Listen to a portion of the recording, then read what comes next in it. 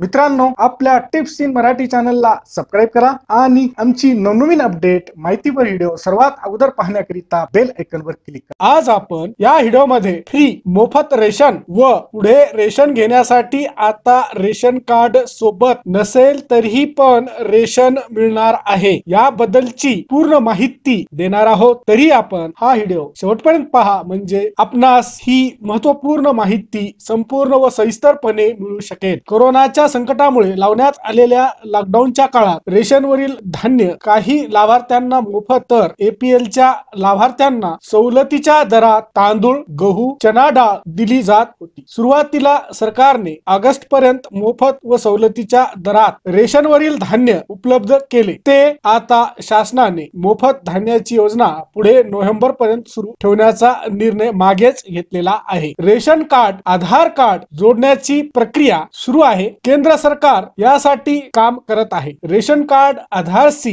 Link झाल्यानंतर ग्राहकांना ration दुकानावर जाताना रेशन कार्ड सोबत घेऊन जाण्याची आवश्यकता भासणार नाही. तुमच्या रेशन कार्ड क्रमांकाद्वारेच तुम्हाला रेशन दुकानदार रेशन देईल. केंद्र सरकारने सांगितल्याप्रमाणे ज्या लोकांकडे रेशन कार्ड नाही तरी देखील त्यांना पाच किलो मोफत गहू किंवा तांदूळ आणि एक किलो चना डाळ दिली जात आहे. परंतु सरकार सरकारची ही योजना नोव्हेंबर दोन हजार वीस पर्यंतच आहे. नोव्हेंबर नंतर ज्या ज्या रेशन कार्ड धारकांनी आपले रेशन कार्ड आधार कार्डशी लिंक केले आहे त्यांना रेशन कार्ड सोबत नसतानाही स्वस्त धान्य दिले जाईल असे म्हटले जाते. अन्न आणि सार्वजनिक पुरवठा मंत्री रामविलास पासवान यांनी दहा राज्यांना विनंती केली आहे की मोफत म्हणजे फ्री मध्ये रेशन देण्याची ही योजना तीन महिन्यांसाठी आणखीन वाढवली जाऊ शकते. व रेशन कार्ड शिवाय सुद्धा लोक नोव्हेंबर पर्यंत मोफत म्हणजेच फ्री मध्ये रेशन घेऊ शकतील. मात्र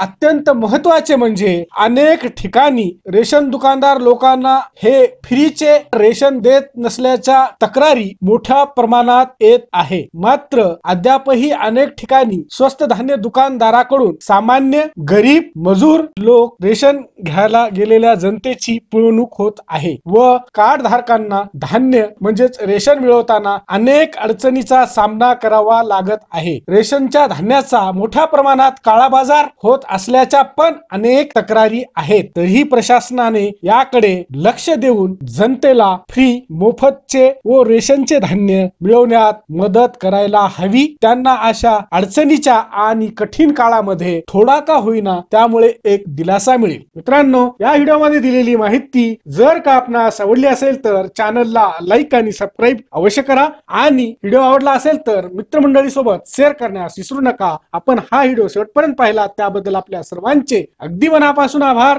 खूप खूप धन्यवाद. जय महाराष्ट्र.